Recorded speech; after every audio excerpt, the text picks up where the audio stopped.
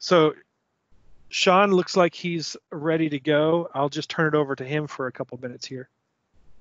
Perfect. And and hopefully everybody can still hear me. Uh, I went on mute and I came back off of mute and Teams doesn't tend to like my my phone setup here. So somebody just want to come off of mute real quick and confirm that they can hear me still and they can see Design X up on the screen. Yep, I can see DX and I can hear you. Awesome. Thank you very much, Greg. And for everybody else on the line, if you wouldn't mind just making sure that you are muted. There has been a little bit of background noise here, and that is kind of distracting for everybody that's on the call. Um, what I'm going to do real quick here, since I have a Romer arm set up in my garage, is uh, I'm going to share my my webcam just to highlight a little bit more of the overall scanning experience. Um, this is something that you guys see quite often, anyways, just the arm moving around. But I do want to prove that this is in real time, just uh, uh, for the benefit of everybody here. So um, we do have a dedicated, uh, really detailed setup guide for how to connect your Romer arm or hexagon arm to all of our software. Uh, we've got some videos coming as well. They should be in the uh, the sales toolkit, the hexagon sales toolkit shortly. Um, so I'm not going to go through a, a completely deep dive in terms of how to get your hardware set up, but I will go over some of the high points and then I'll just do a, a quick scanning demonstration uh, on this part. So you should see on my webcam here, hopefully, this is the gas valve part. Um, we've had these 3D printed, and if you want one of them, let us know. We can uh, probably, I think we have a, a, bunch of spares that we've dedicated to sending out to Hexagon folks. Um, so if you want to have this in your arsenal, in addition to the normal Hexagon demo block and some of the other uh, demo parts that you have, let us know, and we'll uh, try and get one over to you as, as shortly as possible. Um, what I'll do here is, is, explain just two things really quickly inside of the software. First of all, on the user interface, um, Sean, yo, Sean, um, we cannot see your webcam if you are showing us a part. Just FYI. Oh, okay. Well, it says that it's going, and it also says my lights on, but it's not really necessary. I may not have enough no bandwidth to really do both, so we'll uh, we'll go ahead and, and cancel mm-hmm. that portion of it uh, and we'll just go on with the screen share here. So the first thing that you need to do when running a hexagon arm inside of Design X is access the live capture tools. And the, we can do that in two places. First of all, in Design X, we have a home tab here, and this is actually a really good thing for people doing software demonstrations in the, the software where essentially this tab that we've had built here is a end-to-end software product demonstration uh, start to finish. It starts with you know either opening or importing a file or connecting directly to your scanner running a scan process processing the data and then going through modeling and then exporting or live transferring the data out into another cad package. Uh, the more dedicated tab here called live capture is what we'll use to access all of the options for scanning and probing into design x um, I've already connected my, my Romer arm here and I've already played around with the RDS control panel a little bit to make sure everything is connected. Um, but the first thing that you'll need to do is you'll need to find the Romer absolute in the drop down list here and make sure that you select the absolute for the, the newest crop of arms. Um, for one reason or another, the Infinite Stinger, the old generation of hexagon arms, is higher up on the list. So don't select that because that uses um, WinRDS, I believe, and that's not going to talk to the arm properly. You have to scroll down and find Romer Absolute here. And there is a little bit of background noise on the call, so if you could just make sure that you're muted, let me. Uh, please take a second to do that. I just thought. Once I have the absolute selected here, I'll hit device connected. And if I disconnect here, it'll tell me it's disconnected. If I reconnect, you'll just get that prompt saying we are connected and ready to scan and I don't know, Chris and, and Greg, since we're kind of owners of the meeting here, do you have the ability?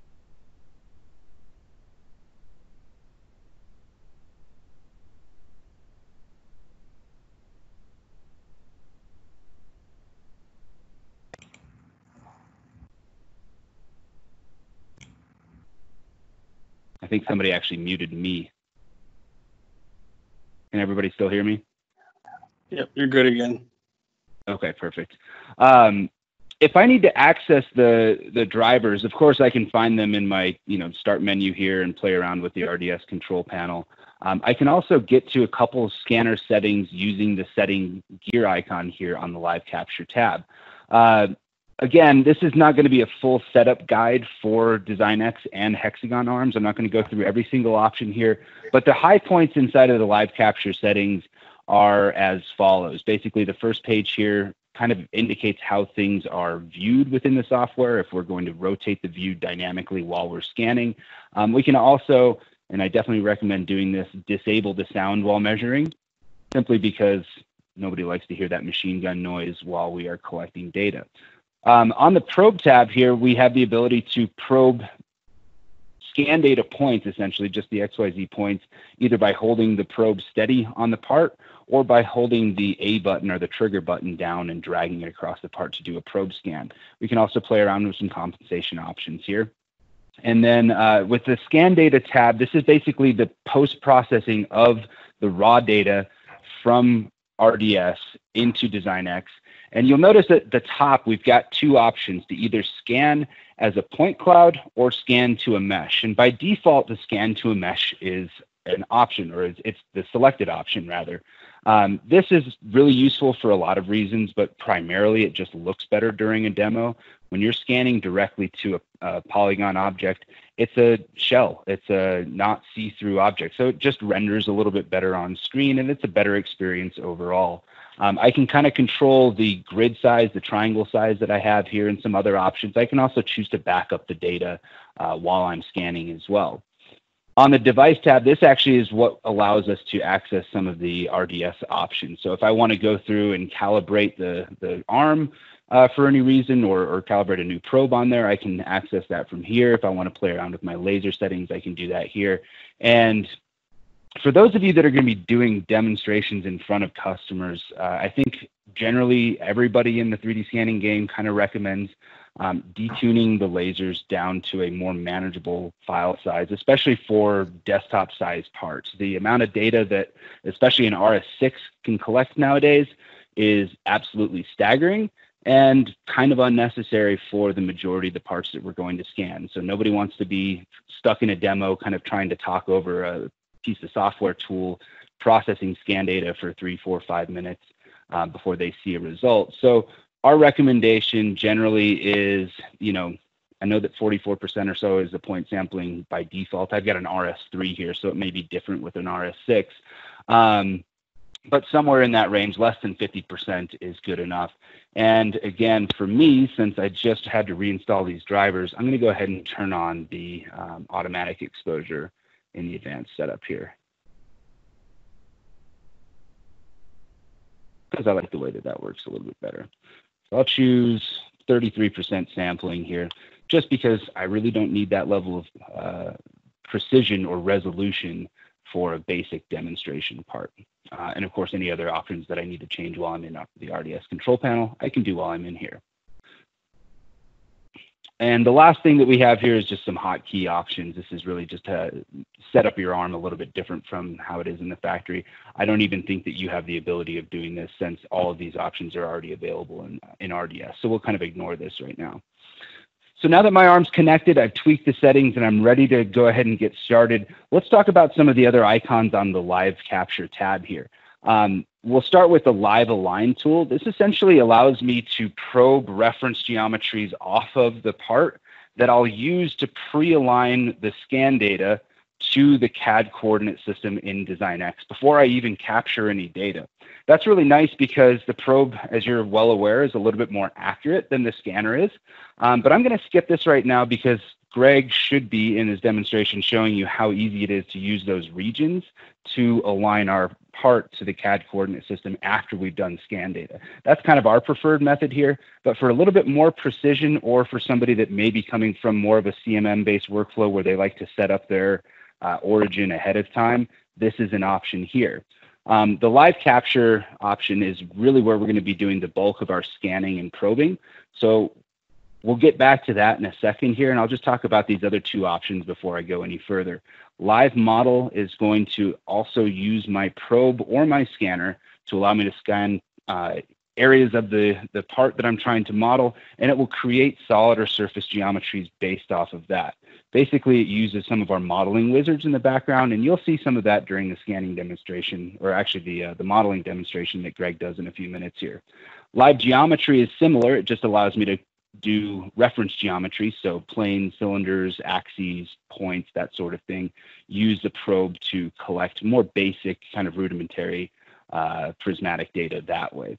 All of these things will actually, or at least especially the, the live model here, will build me a history-based model in my history tree. And I'll let Greg talk about this a little bit later on down the line. But one of the unique things about DesignX is that this functions a lot like how SolidWorks or Inventor or Creo or CATIA, any of those major mechanical CAD packages, uh, history-based packages do, where we actually do a design history here with sketches and reference geometries and extrusions and lofts and sweeps, and make an editable file inside of DesignX that can be transferred into other CAD systems, not just as a dumb, solid, you know, I just step parasolid file, but actually all of this design history will be ported over as well so that the end result is a file that you can edit inside of SolidWorks or Inventor or some of those other CAD systems. So these tools here will create, and of course all of the, uh, the modeling wizards and some of the other workflows that we'll do, they'll create editable files, not just in DesignX, but also in uh, other CAD systems downstream.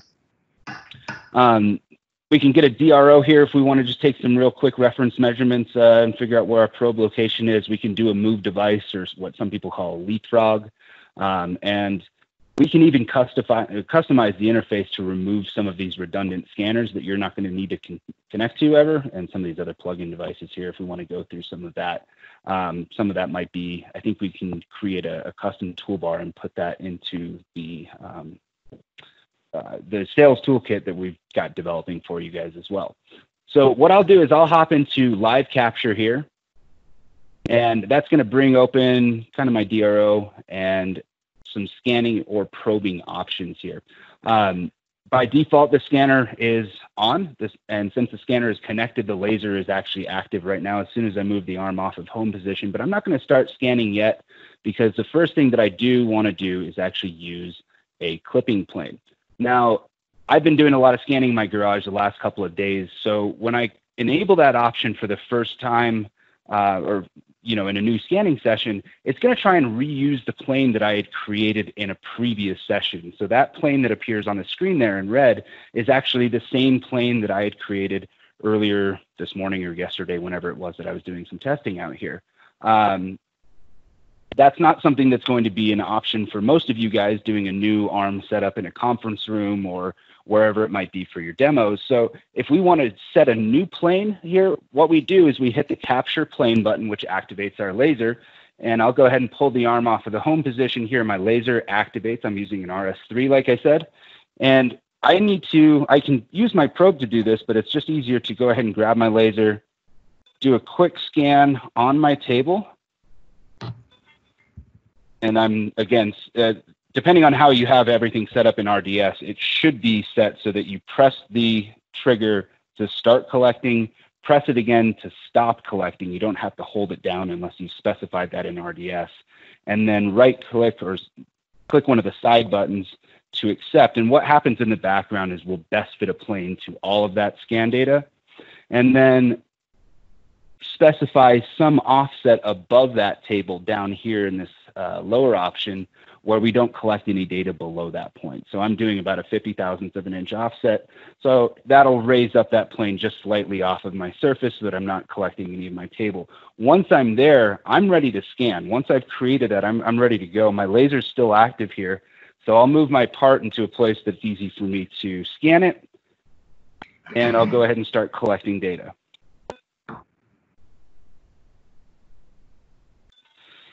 It's important to point out while I'm scanning that every one of these individual scan passes that I create is going to create a new uh, mesh object in my history tree here, uh, which is currently minimized. I know most of you guys do end up doing your scanner demonstrations, especially for the uh, inspection application where you pull the trigger once, blast the entire part, and then just stop scanning right at the end of that process. And given the fact that the encoders and Romer arms are generally pretty good, that's not a terrible thing to do. But we also have to understand that the setup that we're going to be scanning uh, on at a customer site, whatever it might be, um, may not be the most ideal scanning setup period for you know doing any any actual measurement. It may be that you're on a tripod that's on carpet, uh, especially God you know God forbid we're at a trade show because those carpets are always really squishy, and so the data that we're going to collect is not always going to be the most um, reliable. So I always recommend keeping them as individual passes because if there are, is any scanning error, we can compensate for that just by registering with a best fit all of our individuals probe or sorry all of our individual point clouds um, if i just created one mesh out of the whole thing i may not be able to correct for any of that uh, going down going down the line. Now in something like DesignX we're not limited. The, the file that we get out of DesignX is not limited to the quality of the scan data. One of the things that Greg will hopefully show is that even if we are missing scan data in certain locations, it's not the end of the world. We can use our design knowledge and kind of uh, engineering insight or design insight to fill in some of the gaps. And that's going to have to happen on this part because in some of these deep holes here, I'm not able to get perfectly complete data. But if I can see the feature overall, I can definitely measure it and I can definitely design around and fill in some of those gaps using my own knowledge of this part. So I'm not going to spend a ton of time scanning this thing. I did scan it in two halves here. Um, I've got time, Greg, if you've got a little bit of time, I was just going to run through a mesh buildup wizard really quickly. I don't want to talk too much about all of the scan data processing, but we do have a really easy to use tool that allows me to align these two halves of the data and create one merged mesh um, out of the whole setup. And it actually prompts me, DesignX prompts me to run that tool as soon as I exit my live capture tool. When I click OK here, once I've done, uh, you know, finished scanning, I get a prompt saying, do you want to run a automated scan data process, basically a macro to process the scan data upon exit, uh, continue or use the mesh buildup wizard. And I'm going to select this mesh buildup wizard option, but first I'm going to save the file because it's always a good idea to save a backup copy here. This is just going to prompt me to put this somewhere on my desktop, which I've already done here. Replace it. And immediately I'm thrown into the mesh buildup wizard tool. Now this is only something that I really think you need to do if you are uh, doing the top and the bottom of a part per se. If you're just doing the top of a part, it might not be necessary to go through this whole process here. But this essentially is a walkthrough guide on taking your files from the raw mesh format that we create when we're scanning all the way to one aligned, unified, and merged mesh that we're ready to start modeling from. So, Greg, do you want to take over now or do you want to give me another two minutes just to run through this process? I don't know. I don't want to step on your toes. I don't know exactly what you have planned for today.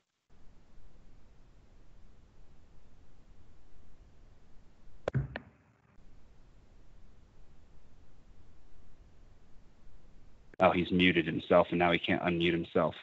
Yeah, ah. can you can you uh, yeah when I'm controlling your computer, it won't let me unmute myself for some reason, so I had to. Right. Yeah, that's. Yeah, weird. go ahead. Go ahead and walk through that. Okay. Um, I won't, like I said, I'm not going to do a, a, full guide here. I'm just going to walk through kind of what this tool does. Definitely some practice would be helpful on your end, but uh, this is going to be a multi-step process to go from, like I said, raw where we are with two halves of the scan all the way through into a completed file. Um, the setup stage here is just going to ask me where this data came from. This is a line laser with a CMM arm, and they're not pre-aligned because I've got both the top and the bottom here uh, finished. I do I can skip the data editing stage though because I clipped out the table. I don't need to really remove any dangling polygons or anything like that. I'll just hit the next stage here and go directly into the alignment stage. So pre-aligning is going to ask me to select one of my two scan groups here and I just box select over everything that is all connected on one side, select moving on the other, select the other half there. Now, my job here, and you've seen this in plenty of other software before, is just to rotate these two parts around until I can see the similar a similar view on the screen and click three common points on both of them. Not having to be super precise here because we are going to optimize this alignment later, but just clicking those three same similar points on the other side until the preview in my left-hand side here looks good enough to move forward with. When I hit apply, if I had a third group of scan, now I could select that, add it to the this window and repeat that process, or I can move through the next stage here, which is the best fit aligning stage. So I'm going to let it best fit all of the scans to themselves, and we'll have a much more high, uh, high confidence alignment here between all of those individual scan passes uh, that I had. The last step that we'll do here is combine all of them into one mesh. If I go into the next stage, mesh construction option, and then hit go. And what we'll see is instead of all 30 of those individual scan passes here, I'll be left with one mesh in my history tree and I'll be ready to go from there. So all of this can be automated, including the rough alignment that I did with those three pick points earlier. We can actually do a, a global kind of best fit move. Um, we can talk about scan data processing later on in a little bit more detail, or we can do more of a technical deep dive if some of your teams want to see that. But as far as I'm concerned, that's basically the collection of data um, and processing down using the mesh buildup wizard until the point that we have just a single mesh here. Now I'll go ahead and let Greg take over. I've actually got to hop off of the call. Actually, I can stick around for a few minutes at least um, and help answer some questions if any come through in the chat. But I'm going to put myself on mute. And Greg, I am going to stop sharing my screen now. So that's good. it for can me. You guys, can you guys see and hear me? That looks good and sounds good. Perfect. All right. So along the lines of what uh, Sean showed, we'll just continue on moving through a workflow. So the one thing that I'm not going to show today is uh, the alignment to the world. I'm going to move a little faster into the modeling section. Um, but as Sean mentioned, you can use the regions that we create coming out of the scan processing like we have here. Um, we can use this interactive alignment and select regions and align the part to the world coordinate system. And as Sean said, if we decide at a later time to do more of a deep dive into some of this, we can talk about that and I can show different examples of how to align. But today, what I wanted to do is just focus more on model extraction tools. I usually like to pull a few different things, extract some different things from the scan data and show some different techniques for modeling from scan data and then show a transfer over to a CAD package to show how it comes across as native entities. So as we've reiterated over and over again um, today, DX is essentially like having a CAD package and a scan data processing tool all in one. And like he said, the history tree is over here on the left hand side. So as I start modeling, you'll see it populate the history tree throughout um, this top uh, list here. Down at the bottom, we have all the different objects in this model manager here. Um, so you can turn things on and off, hide and show them, you know, click on them and change properties and things like that. Um, so that's what this area is. So without a doubt, probably the most important tool inside of DesignX for model extraction is got to be the mesh sketch uh, tool. So if you're familiar with CAD, um, you know, when you go to model stuff, many times you start with a sketch, right? And you'll draw either a 2D or 3D profile and then utilize that for different modeling techniques. Um, but what's missing inside of the CAD packages is the ability to capture um, the scan data inside of that sketch and use it as a reference. So you see here, if I create a mesh sketch, there's a lot more options than there is when you create a regular sketch because we do have a lot of different functionality built in here. When you have scan data in the background, it necessitates some extra tools in there to help you extract what it is you're trying to pull. So right out of the gate, when I click on that plane and hit uh, mesh sketch, the first thing I usually do is position that plane where I want to intersect the mesh. And the reason why is you saw at the very beginning when I clicked that plane, the plane on the bottom like bisects the flange over and over and over again. And that's not exactly what I want to draw. I want to bump up that plane to offset a little higher through that flange. But you'll see that dotted line at the bottom. Wherever I intersect this plane, it will project that polyline back down to that original location. So that is the first tool that's really handy in here. Another one is the ability to create multiple slices. So you see here, I can create a cross section and then hit this plus sign. And then I can move it to another location and I can hit another plus sign and I can capture multiple sections. So I could drag higher in the part. And if I want to use all those as a reference, I can have multiple cross sections. Another really interesting thing is the ability to average those sections together and then it will create one continuous polyline and average them together. Um, and then finally, one of the most important ones that we utilize here, and I'll just cut, I'll just delete those and then just create another one real quick. Let me just, uh, just get out of it, go back in again and pull up by far what the one tool in here that I utilize the most is this ability to create a silhouette. So many of you that have seen our software before, I can actually change the thickness of that plane and it will project that entire silhouette down to that plane. And in in this 2D fashion, it's really handy. But where I find it um, to be the most beneficial is we actually do this in a rotational method as well. So if I had a radial part um, where a, the main feature of the part was a revolve, let's say like a, a, a rim of a vehicle is a good example.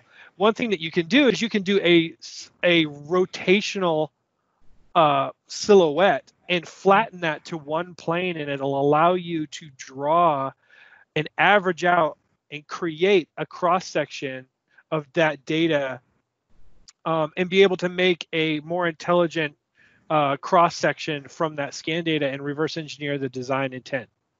Right. So today I'm just going to cut one cross section, but I like to highlight some of those powerful tools inside of the uh, uh, mesh setup because uh, those things that in some cases I don't think exist in any other software. Once you create this mesh sketch, you have a very familiar interface to CAD packages where I can I can grab sketching tools and draw, for example, a horizontal line right there. And you see that I can drag that horizontal line and actually snap it to the scan data. So that's one way that you can interact with the scan data. Another one is I can just roll over. The software will automatically try to find straight lines in that cross section for you. And if I just roll over and click, the software will extract those uh, straight sections for me. And then another way to, to draw these lines is I can actually just window in and best fit. So I purposely exaggerate this to show anything that's turquoise, that turquoise color, it's going to best fit a line to whatever I've selected. And I can select and deselect, and you'll see that it'll update the selection for me, right? So it's real easy to quickly best fit things to the scan data. And then finally, uh, you know, after drawing thousands and thousands of cross sections on scan data, uh, we figured there has to be a better way to extract uh, some of these dimensions, especially if you're just trying to draw exactly as is. So we built this tool called AutoSketch. Um, and the AutoSketch works two different main ways. You can actually tell it to automatically draw all all the arcs or you can tell it to make only selected ones. So in this instance, I'm just going to tell it, go ahead and make all of them. And you can see that it's auto sketching everything that's there for me. And if I want to, I could tell it to draw everything and then I can just delete things that I might not want in here. Um, so even if it gives you something that you're not expecting, you can always come back and just remove things that you didn't want in there. And you can even edit them afterwards. So if I come in here and I just drag this up here and I remove that bump and I come in and apply a tangency constraint. And again, this is important to note too, that we're we're doing CAD type relations, constraints, and dimensions. So I can come in and I can apply tangency. I can grab the dimension tool and I can apply dimensions to all of this geometry. And all of this stuff comes across to CAD when I send it over via the, the live transfer tool, right? So if I get out of the sketch and rotate the part and look at it from the side here, you'll see that I drew it in position directly over top of that flange. Now I can come in and just do a regular extrusion and I can just drag the part, drag the extrusion up and down. And you'll notice it's highlighting some regions. If I slow down give the meeting a second to update, you can actually snap it to regions and those regions can help you figure out what dimension you might want to make it. So I like to often use this where I snap it to a region and then come back and override it. So I'm just going to override it to a 0.2 extrusion and then hit OK. So now if I just hide my solids, um, hide my mesh, show my solids, you can see that we were able to extract that flange. Now, if I want to edit this, again, highlighting the fact that we're a history-based CAD modeler, you'll see that the original sketch is there. And I can hide and I can go back normal too, and all my uh, relations and constraints are there. So you see, as we send this over to CAD a little later, you'll notice that that all comes across the same way. Um, so after, again, drawing lots of cross sections, even using the auto sketcher, um, we were looking for other ways to improve and make it faster to reverse engineer parts. And that's where the wizards come in that Sean had alluded to earlier. Um, so creating these extrudes revolves lofts and and all those features can be very time consuming and there are instances where maybe a user wants to capture exactly what's there and just let the software create those uh, for them um, so that's where these regions come in really handy if i turn on my regions again just to reiterate the regions we go through the entire scan mesh and basically group triangles by common curvature is the way I like to describe it. So you see that fillet? The angle between those triangles is all around the same angle and we group them together. And what that does is it makes it very easy to quickly select and um, repeatedly select scan data and utilize it for other tools down the road. And one of those being um, extrusions. Um, so if I just come over here and you'll see that we have a bunch of different wizards. I'm going to use the extrusion wizard in this instance. And it basically is asking for these groups of information. So I'm going to ask, I'm going to select all the different sides.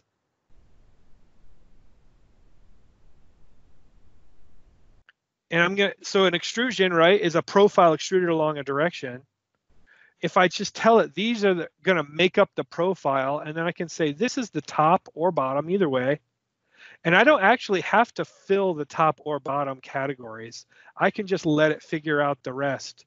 And then I can dictate what type of geometry it's going to create. Is it going to create a solid and in and create it, or is it going to merge it with the other solid that might be in the uh, document? Is it going to do a surface? So I'm just going to tell it to insert a separate solid body, and then I hit next.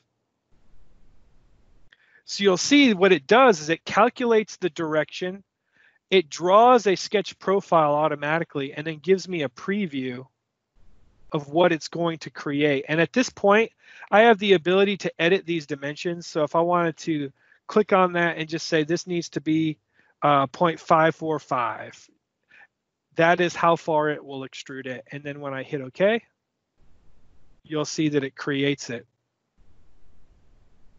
So now we automatically created that from from the scan data. Now, when we auto create something, we don't lose that history connectivity over here.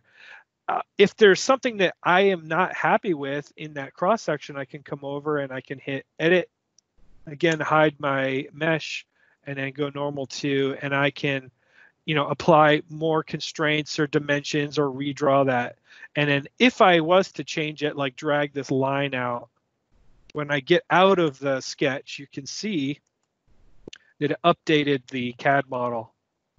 So it's all history based there. If I just hit undo, it'll go back. Um, so, so far, we've created some uh, model information, um, but what we were talking about in the original PowerPoint is during the design process, there are many times where you need to validate the design. And we like to do that in process while you're designing the part. If you come over to the accuracy analyzer, you can turn on deviation from body. And what this will do is do a 3D comparison between the CAD model bodies that we've created so far and the scan data and then graph the deviation between the two.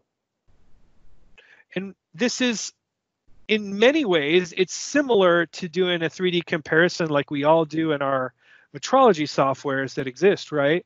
But the purpose of doing it now inside of this software is to kind of validate the design as you go. So if you've ever done um, a lot of reverse engineering or scan based design like this, you can make a mistake early on in the design process, and then it would take a little while to repair or fix later on downstream. Or if you were designing something without having the scan data in the background, you might actually create a model go start cutting the mold or cutting the part on a CNC machine and realize that you made a mistake. These uh, color plots are to help us catch our mistakes along the way and validate what we're trying to create and make sure that we create what you're intending to create. It even helps you find errors along the lines where you might have missed a feature. Um, so being able to do that deviation from body is really important. Now, we have a lot of different wizards for extracting sweeps, revolves, lofts, all those different things, and they save a lot of time in extraction. But sometimes you need to, uh, you know, model something that's a little more complicated than just um, an extrude or revolve. Um, so you see that we have a loft wizard up there.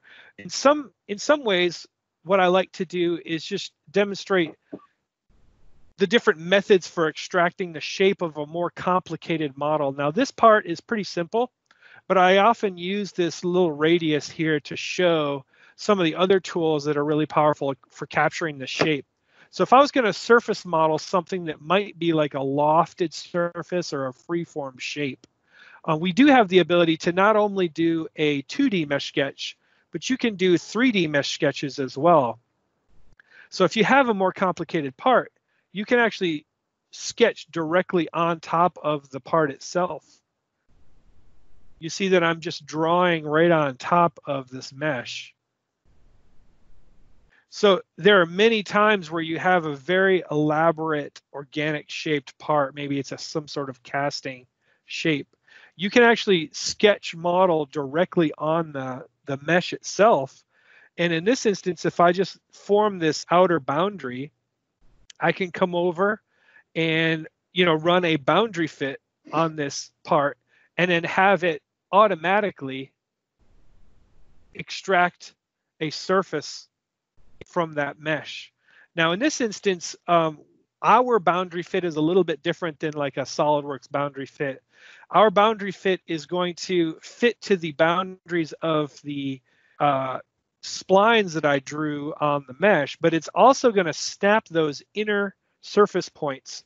And once I run this, you'll see it run. Those blue dots, they're all snapping to the scan data itself. So it's going to drape a surface over top of the mesh and fit it exactly to that shape. So you can see with a different part how that would be really handy to go around and surface model a part. And you can even once you create this, you can extend and trim and stitch different pieces together to create a really elaborate model from there.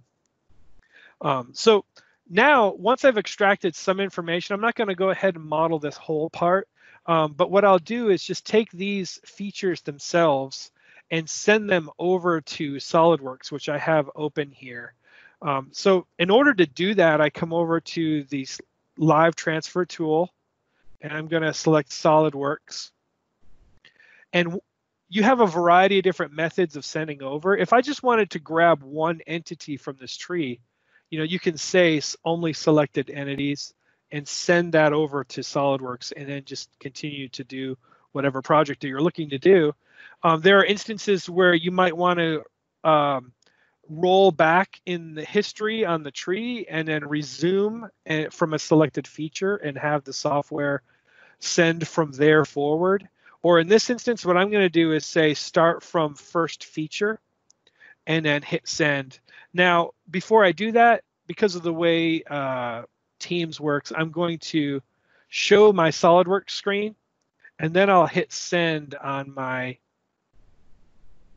Design X and then you'll see the stuff come across. So it looks like it's showing SolidWorks. So I'll go ahead and hit send from Design X. So in this instance, I did not have a part open yet. I just told it go ahead and send and it opened a part. And then you'll see that it created all those entities inside of SolidWorks. So I'm just going to hit OK that it, it, it succeeded. And then, like we were saying earlier, um, it sends these over as native entities. So if I come over to that original sketch and I hit edit and go normal to, you'll see that the dimensions that I pulled out, the constraints, the relations, they're all there intact.